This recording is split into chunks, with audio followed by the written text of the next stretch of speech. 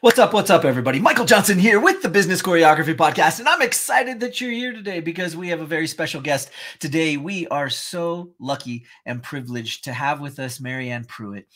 Mary Ann is an amazing human, and I can't wait to share her with you and share all the cool things that she's up to. She is the CEO and president of Mosaic Media, a collection of media buying experts and creative strategists who negotiate, purchase, and monitor advertising space and airtime. She's here today to share some of the marketing wisdom that she's gleaned from her long career in media strategy and how it relates to the ever evolving climate of media. Guys, we are so lucky to have her here today and to be able to have her wisdom and her knowledge. So let's cue the intro and we'll jump right in. Listen, there's a lot to learn when growing and scaling your business. That's why we created the Business Choreography Podcast, where we talk about choreographing your marketing, operations, and sales into dynamic systems that increase your revenue and your impact. We'll explore solid business principles and discuss all things that make businesses dance to success with clarity. We'll help you figure out where the holes are in your business and what you can do to fix them. Think of us as your official business choreographers, aka your insider growth strategists. Remember, your choreography matters. Welcome to the Business Choreography Podcast.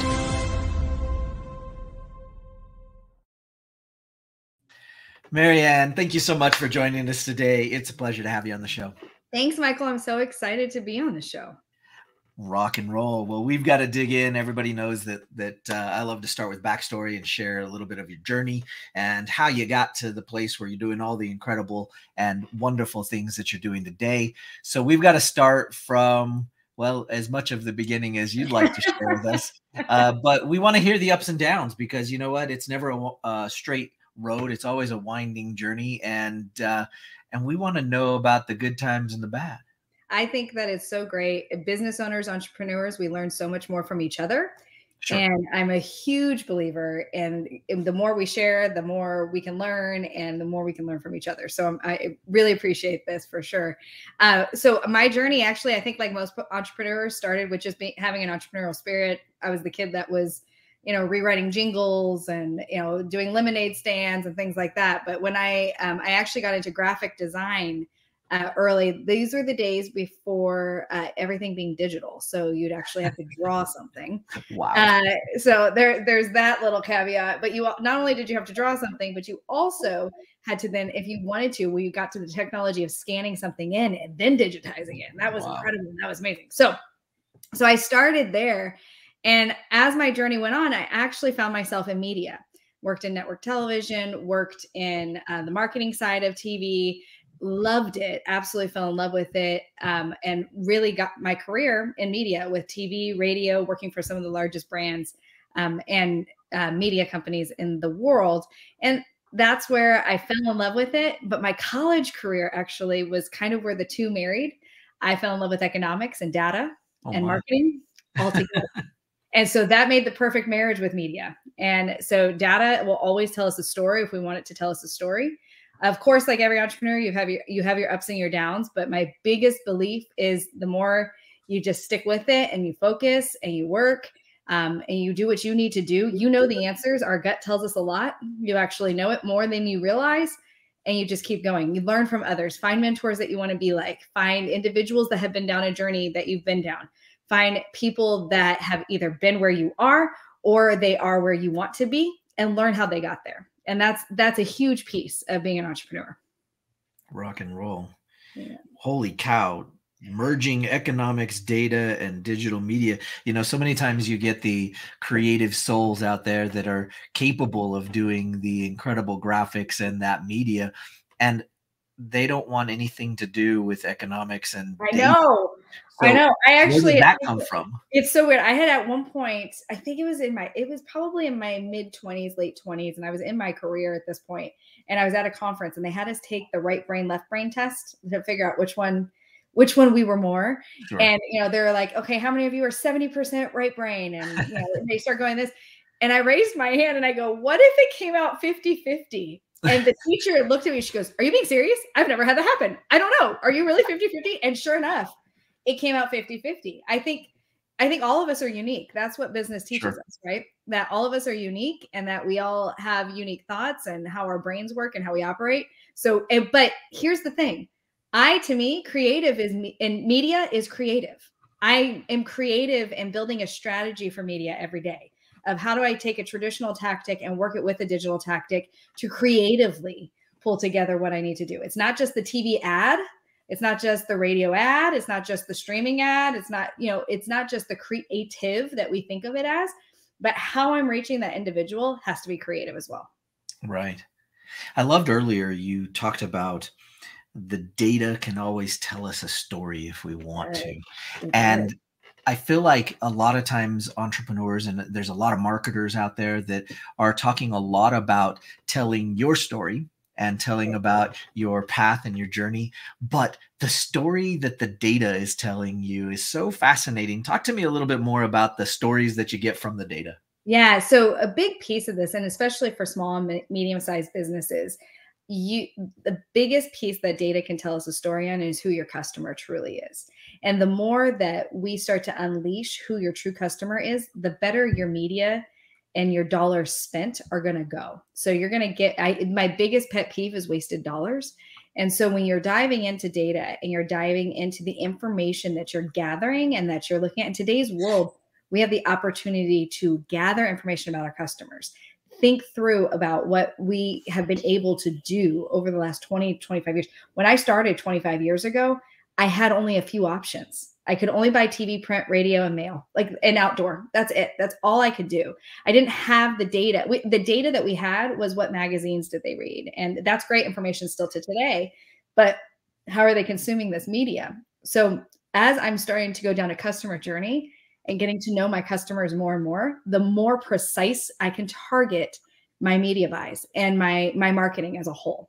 I love what you talk about with choreography and business, right? Your operations and your marketing working together. And data is a big part of this because when you have when you're collecting data on the operational side and you're collecting data on your marketing side, that's when your marketing is actually going to be fueled better. The stories that are coming out of your operations, the stories and the data that are coming out of your um, everyday collection of information on your customer is then how you're going to be able to fuel your marketing even that much better. I love that. That is so true. And and being able to gain that data is huge. You know, a lot of times you hear from uh, the marketers out there and the the gurus that you should niche in and mm-hmm. you should really identify your uh, target buyer. And we found so often that this is not something that a newer business uh, can do right. because they don't know who it is, and it is they accidentally will go get this pretend person that they created as an avatar and they actually succeed because the concept is not bad right. it's just not appropriate all right. the time and so they get this client and when they get the client they go oh my gosh if i get 20 more of those i think i will die Right. So they actually don't want that client. So I, I love the idea that we could target and identify our best client. And, and i heard you say that and i heard you sneak that in there is with the clients that we're getting and with the clients that we're pulling in targeting our best client. How do you do that? How do you dig that out of the client or out of the person looking for that how do you dig well, what your best client is? I'm a big believer that when you when you're new in business, or if you've been in business for 30 years, test multiple niches and where you want to go. I am I do believe that niches make riches. I do believe that. I believe that the more you narrow down and you do find your persona and individual customer that you're trying to go after, that avatar that you're looking for, um, there's so much we can do. And I'll talk to you, I'll talk a little bit further about what we can do once we know who that avatar is and how we can go after it and really hone in your media spend um, and really strategically target them. But in order to identify that, you have to start seeing okay, who are the customers that I like to work with? Who are the customers that we find the most success with? Who, as a business owner, do I wake up every morning and going, I loved that project? That was fun. Whether it's in professional services, whether it's in any type of retail, what is it that I like the most about our company that we offer? and then who is the customer best fit for that so test out a few different audiences test out and see what works especially in those beginnings or if you're later on in a business and you've been around for 30 years and you're that medium sized business but you're going you know in today's world i've really got to figure out where our lane is and where we focus and who we are test it test and look at the data you have if you've been around for 30 years, you've got data in front of you, you just don't realize it. Right. You you just may not be seeing it as clearly as possible, right? Look at your sales. You can look the ones that I love is when somebody starts looking at their sales and like, actually, I didn't realize I was doing this much in repairs. I didn't realize I was doing this much in um, you know, detail or you know, whatever it is. I'm I'm you know more using the car kind of analogy in that. But what about in retail? I didn't realize that in this very specific product line that was working so well. That's an audience I can go after. So it's actually, and the biggest thing is business owners go, well, how do I find time to even do this? How do I even find the time to sit down? Because we're we wear a million hats and it's exhausting. Being an entrepreneur can be very exhausting and very lonely. But at the end of the day, think about if you could find 10 more of your perfect customers if you're in professional services and you know that if I find 10 more just like this client, like my life sounds great. Like they are great to work with. It's a partnership. We work together well.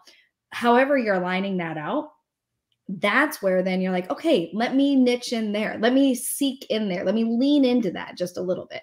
And leaning into a few niches to test it out is okay. Because a lot of times people go, I don't want to niche down. I don't want to do, you know, it's okay to niche down, but maybe test a few niches, test a few and see where you're best fit and best suited. Um, but then we can get into how you target your avatars once you do figure that out. Right. Yeah. Okay. Yeah. I like that. So you mentioned earlier that you've been in the game for a while. So you oh, you've you've yeah. learned the the guts and the heart and soul of traditional media back in the day. Yep. And you know, there's been a lot that's changed over the last 15 years and and even in the last 5 things are are changing massively. But I've seen a bit of a trend of businesses going back to some of that traditional media from the digital side of things. What have you seen in that space and in that area? I say it all the time traditional is not dead. You just have to know how to marry it with digital. So, what we saw actually during the pandemic um, were new patterns of media consumption. Media sure. consumption was already at an all time high. We were already high consumers of media and of information. Uh, what ended up taking place and happening was uh, we then we were we were consuming media at this level and then the pandemic happened and we wanted to gather as much information because that's what human nature is as possible so our consumption went here but because the pandemic lasted as long as it did it wasn't a two week time frame we're talking new habits that were then consumed right. so we still are consuming you know traditional platforms we may be consuming them in a different way but we're still consuming them. Uh, mail made a huge comeback during this time frame, but the key piece is we cannot. And so this is getting back to once you've identified that key and that ideal customer, that right size customer, that customer that you really want to go after, and building that avatar for them. We can't ignore the digital tactics that we have today that actually can marry with our traditional tactics. So that's in programmatic targeting and knowing exactly how we can go in and all these data sets, find a good partner that knows what they're doing in this area. You'll be surprised that they're it, it's not as expensive as you think. You're going to be able to find a good partner in that space. Um, and all day long, that's what we do is we go in and we target programmatically our avatars that we want to go after. We know who the customers are and we want to go after them and that's where they are. So whether they're in traditional television, traditional radio, print, outdoor, I can also now things are starting to move where I'm programmatically bidding even those and so you're able to start building those data sets with that.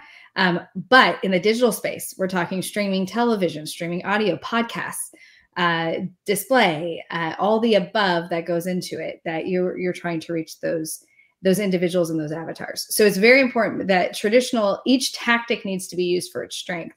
So traditional should not be dismissed, but we need to be looking at how are we even better how are we marrying traditional and digital together? How are we doing that together and in that precise pro- programmatic targeting?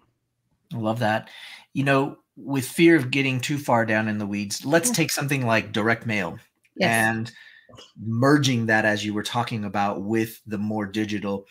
What are what are some of the ways that somebody would do that like i know you're you're you're in the forefront of the innovation yeah. of all that so what are ways that you would do that merging of those two uh, elements together. So it's actually one of my that, my favorite examples is taking direct mail and um, the precision targeting tools that we use. So we've been using these tools for us. We've been using them for over 10 years. Um, and some AI, I like to say dr- human driven AI. AI is only as good as the information that you're giving it, frankly. Um, and so it's developing those tools. But in that, how are we using data sets to programmatically bid digital and then pair it with a direct mail piece? So now in today's world, with some of the tools that we've developed and we've grown, I can target down to an address, I can target down to a street. So you have a mail list that we're going to target as well to then go to is, and make sure that then the digital is working with it together. I'm going to be able to take this address and this individual that we know is on a list of ours that we want to target. Either it's a past customer or it's a data set that we know is available to us. Now I can take this data and I can marry it and see where their digital habits are. What are they doing digitally that I can make sure that we're reaching them the same way? This is the rule of frequency. This is the rule of constantly being in front of your your customer, right? That that's not new. We've been doing that for 30 years. We've been doing that for way longer than that. My career, it's been it was a frequency of 3. Now you're wanting to shoot for a frequency of 7 to 9, right? Because right. the more you're in front of them, the better. So, how are we taking the rule of reach and frequency of using this together, which is a traditional thought process? But how am I then doing it in the digital space? So I'm taking these mail these mail addresses, these uh, direct mail campaigns, and I'm pairing digital with it, with their streaming television, with their streaming audio, with their podcasts, with their display, what they're reading, native advertising, what articles they're reading in their home, multi-device tracking, retargeting once they're on and seeing things. And then that's building this full omni channel approach that we really truly can use in today's world. That frankly, I wish we had 25 years ago. We didn't have this. We didn't have this ability to be able to do it 25 years ago because the technology wasn't there. Now we've developed it, now we've grown it. And those of us that have been in the forefront of it, we're constantly, it changes every day, constantly adding to it of the abilities of what we're able to do. I love earlier that you said that it's a lot more affordable now than a lot of people would think. And I guess the the question that's probably started to pop up in our listeners' minds is what does that mean? Do I have to be a 50 million dollar company to come and do oh, this stuff or or if you know if we have some of our startups that are listening are they is this something that they should look at to to start to add into their strategy even that early on when they're yep. when they're in startup mode. Absolutely. Anybody who has a customer should be looking at this. And anybody who has a customer can afford this in some way or another. It is finding a partner. Find a partner like ours. We'll have, I offer this to any podcast listener that hears me on a podcast. I'll have a, an initial conversation with you, no cost at all, sure. and talk through what are you looking for? What, what are you currently doing? We'll analyze that and then we'll go from there. And that's a, we offer that all the time. Why? Because I genuinely believe that we grow together and that's how, that's how anybody in business should be thinking. But where if you think that okay i can't afford it. For us we work with the smallest of the small to the largest of the large. You know we're in the tens of hundreds of millions of placement but we're down in the thousands also. And right. that's okay because every brand has its own individual goals of what it's looking for right? And every brand can't spend you know a hundred million dollars on a campaign and not everybody but you the cool thing is in today's world you have the same tactics available to you when you find a right partner who can help you sure. not at that hundred million dollar ticket right? But you can build it for what you need it to build it to where you need it to be. So if you're small if you're medium it doesn't matter. And actually in today's world what i would a- offer and look at is let's do an analysis of what you're currently doing because I promise there, there are dollars that just need to be tweaked. You're spending more money than you realize already on your marketing. And maybe it's not the best way to spend your money in today's market. So let's look and analyze that and say, okay, what's the best way? Actually, let's take a step back. Let's look at it at a different level. And let's say, okay, let me think what else can we do with that money? What are things that maybe we can, maybe you have an amazing killer mail program, but maybe you're only getting a return of a certain amount, but the same data set is returning and returning and returning. Okay, cut that data set in half, take some of that budget, and let's pair it with some digital on the same audience, and which is working for you over and over and over again. Let's magnify that, let's multiply that. So these are all the tactics that we need to be marrying an omni-channel approach but don't be uh, scared of sticker shock because you actually will be surprised and how much more you can afford. And then here's another thing, Michael, that I love to preach on all the time to these to entrepreneurs. At the end of the day, you guys need to realize that your hour is valuable. You have a dollar amount on your head for your hourly wage, whether you realize it or not. And every hour you're not doing something to actually put back into the business, think strategically, think on whatever mindset that you need growth and 10 years down the road and where you are in sales is a dollar that you need to be looking and saying, you know what, someone else can handle that. And that's okay. And don't be afraid of that because bring in collaborations, but bring in people that can help you and report to you regularly of what's happening so you can brainstorm it and love it. Give yourself those extra tools as an entrepreneur. Right. Is there, I know the answer to this, but I, I think it's important to just ask it and, and say it because I, I would imagine that this, again, is another thought going through people's heads. Is there a type of business that this isn't good for? I mean, is it not good for e-commerce or is it not good for uh, for any particular business or or is this pretty much across the board if you're in business you need it?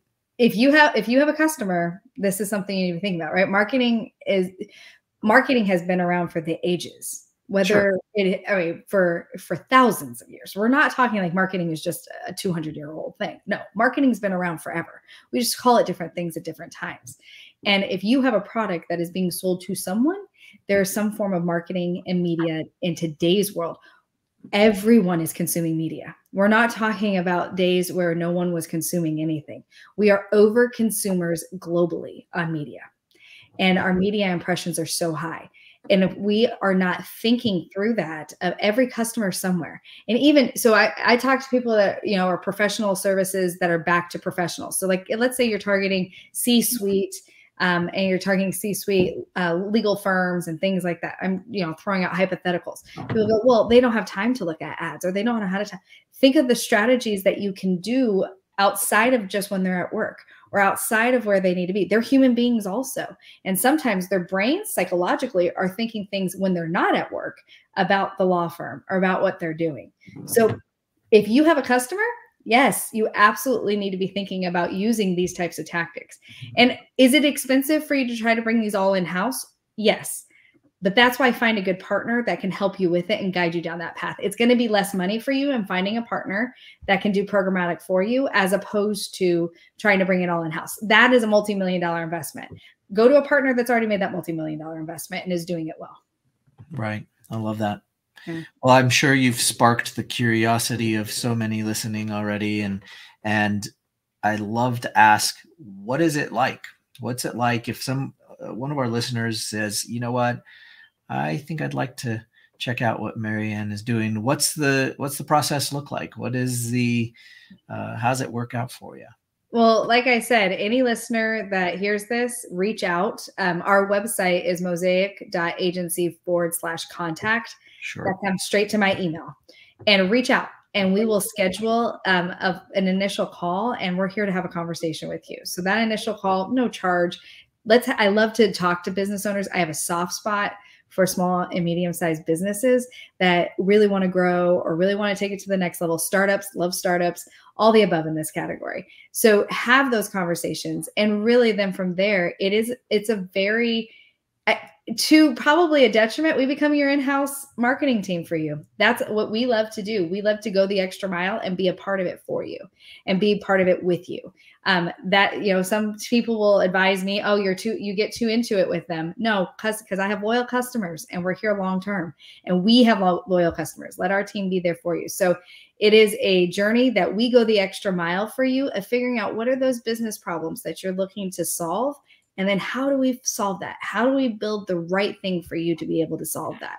Um, but reach out, reach out, get um, get in contact with us. Again, mosaic.agency forward slash contact and reach out to us. We're willing to have that initial conversation. Pick our brains. It's what we do literally every day is help small and medium sized businesses. I love that. Well, guys, go check out mosaic.agency and talk to Mary Ann. Yeah. And see what they can do for you because if you have a customer, then you need this stuff. So pretty straightforward, pretty easy to do. Uh, we really appreciate you being on the show today and joining us, and it's been an absolute pleasure. But before I let you go, uh, can you leave us with some sage wisdom? Oh, uh, sage some, wisdom. Some last words for us before we head out. So I'm going to go more of the business route than I am going down the marketing route and the media route. But as business owners, be true to yourself. Listen to your gut. No, I I see the picture of an anchor behind you, and I say this all the time. This is something that's so important to me. Know where your anchors are. There are things that are good anchors. That's your family. That's your values. That's who you are are as a human being and as a person. And then there are anchors that are holding you back. Know the difference and know which ones you need to cut loose and knows know which ones that are holding you grounded in who you are. And that's the be true to yourself as a business owner. I love that. Great. Yeah. We're going to take that and run with it. Guys, I appreciate y'all listening today and joining us. Uh, Mary Ann, thank you so much for being here. And as usual, all of you listening, keep choreographing your business. There's not a time when you can stop. So until next time, we'll see you on the Business Choreography Podcast on the next episode. Take care. Thanks for joining us today. Want more business choreography? Check out our website at bizchoreo.com to find out more. And find out how the choreography for your marketing, operations, and sales can raise your revenue and create more impact. Remember, every business needs choreography.